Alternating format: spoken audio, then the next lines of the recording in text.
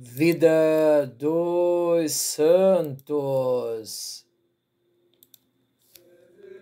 Santa Jacinta Marescotti, 30 de janeiro. Santa Jacinta Marescotti, que tinha como nome de batismo Clarice, nasceu no ano de 1585 em Roma. Pertencia a uma família nobre religiosa com posses, mas que possuía principalmente a devoção e o amor acima de tudo.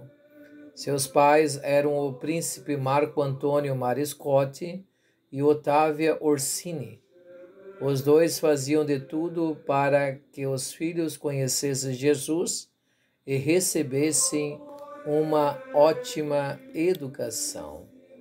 Ainda menina, foi enviada para um convento para sua educação, numa escola franciscana.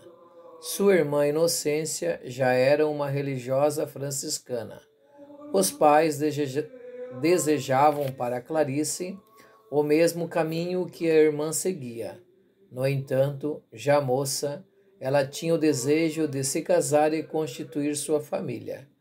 Conheceu um jovem marquês por quem se apaixonou mas coube-lhe o destino dele de casar com Hortência, sua irmã mais nova. Decepcionada, Clarice decidiu não perdoar o pai por ter entregue à irmã o homem com quem ela queria se casar. Começou então a tomar outros caminhos para sua vida, entregando-se cada vez mais ao pecado. Desse modo, seu pai a enviou ao mosteiro de São Bernardino, em Viterbo, onde ela havia estudado ainda pequena. Clarice não desanimou. Recebeu o nome de Jacinta e submeteu-se ao hábito. Professou seu voto de castidade e tornou-se terciária franciscana, mas não fez os votos de pobreza. Não abriu mão de suas roupas refinadas, nem de de uma moradia refinada. Viveu desta maneira por 15 anos, até que, com o assassinato do pai, ela começou a questionar a importância dos títulos, dos bens e do luxo.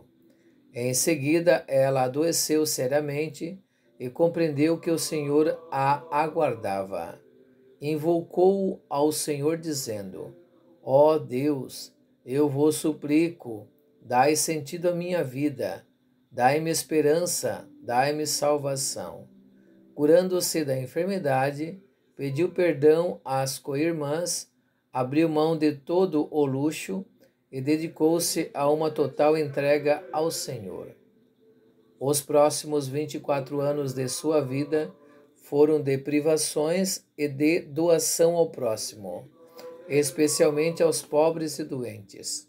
Com o auxílio financeiro dos velhos amigos, conseguiu dirigir obras que prestavam assistências sociais aos necessitados, fundou asilos e orfanatos. Tudo o que recebia dedicava aos pobres. Santa Jacinta Mariscotti faleceu em 30 de janeiro de 1640 foi sepultada na igreja do convento onde se converteu, em Viterbo. Foi canonizada em 24 de maio de 1807 pelo Papa Pio VII.